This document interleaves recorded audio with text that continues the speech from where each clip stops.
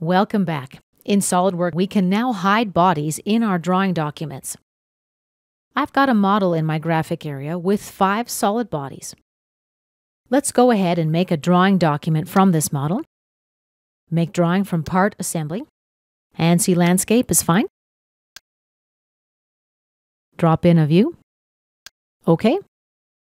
Now, in order to see the body behind, I can simply right click and select Hide, Hide Body.